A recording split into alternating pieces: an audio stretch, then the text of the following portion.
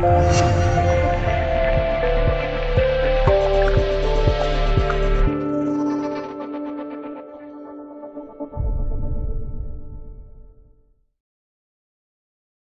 零一八赛季 ATP 赛季已经落幕，费纳的三巨头包揽了四大满贯的冠军。斯维列夫、连克费德勒与德约科维奇称霸年终总决赛，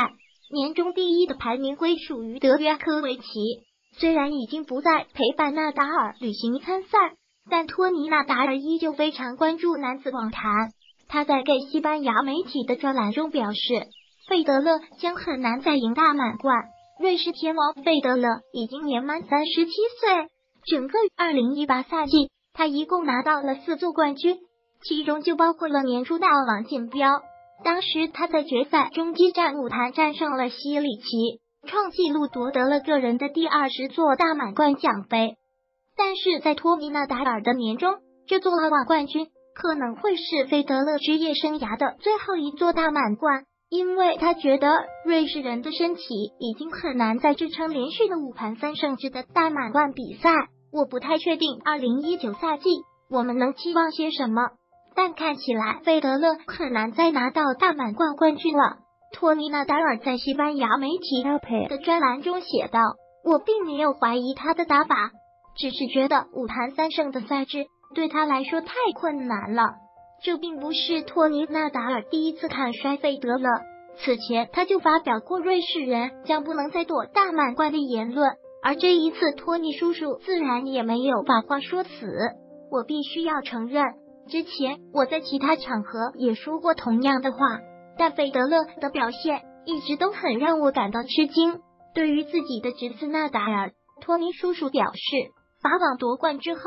他的赛季前景本来一片大好。非常有希望蝉联年终第一，但是伤病的影响再度成为噩梦。不过，对于纳达尔下赛季的完全康复，托尼叔叔表示很有信心。德约科维奇的强势复苏无疑是二零一八年最励志的故事。托尼纳达尔对此也表示赞同。德约科维奇在二零一八年的复苏会被人铭记，他已经回到了我们之前熟悉的水准。